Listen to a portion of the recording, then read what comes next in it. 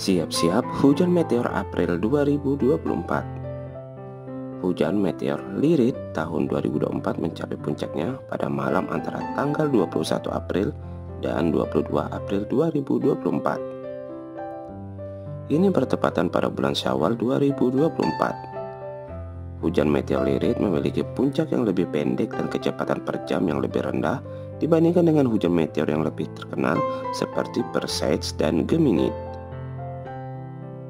Dari lokasi langit yang gelap, kita dapat melihat rata-rata sekitar 18 meteor per jam selama puncak hujan, meskipun terkadang terlihat hingga 100 meteor per jam.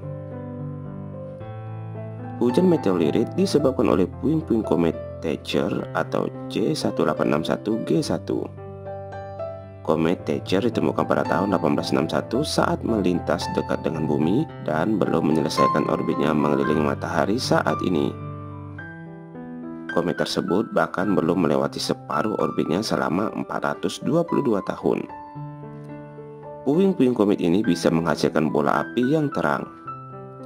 Cara terbaik untuk menyaksikan hujan meteor adalah dari lokasi langit yang gelap, jadi sebisa mungkin menjauhlah dari cahaya kota. Untuk melihatnya, pergilah ke tempat paling gelap, biarkan mata kita menyesuaikan diri dan lihat ke atas, tetapi hindari menatap langsung ke bulan.